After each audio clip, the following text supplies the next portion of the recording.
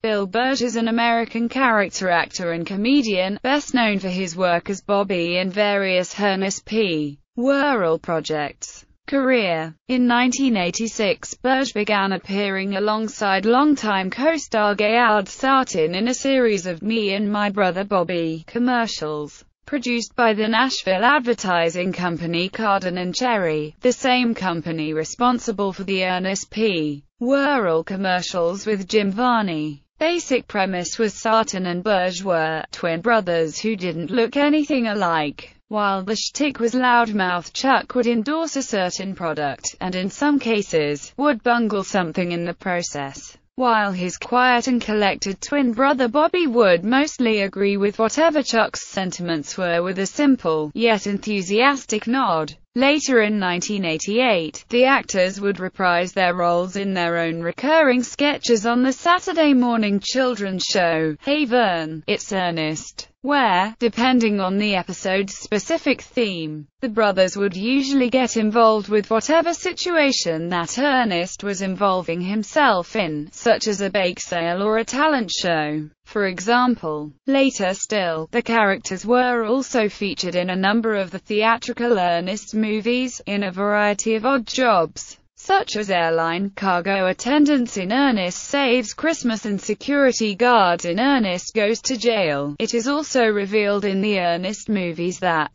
Chuck and Bobby are Ernest's next-door neighbors. Afterwards, Sartain was absent from remaining Ernest films, but Byrge continued to portray Bobby, and was paired with somewhat similar characters, including a younger brother Tom in Ernest Scared Stupid and alongside Linda Kash's character Gerta in Ernest Goes to School which was filmed in Vancouver, British Columbia. In the original commercials and Ernest TV series Bobby never speaks, but will occasionally mouth what he is trying to say, or even hold up a sign with his thoughts written on it. In the preceding Ernest movies however, Bobby actually did speak, even if only a line or two. Post-Ernest Byrge has not done much acting since the demise of the Ernest franchise, however, in recent years. He did reprise his role as Bobby once again for an independent DVD movie, alongside Billy Dee, entitled Billy and Bobby, the wacky duo on vacation. In the movie, buddies Billy and Bobby go on road trip, but before they do,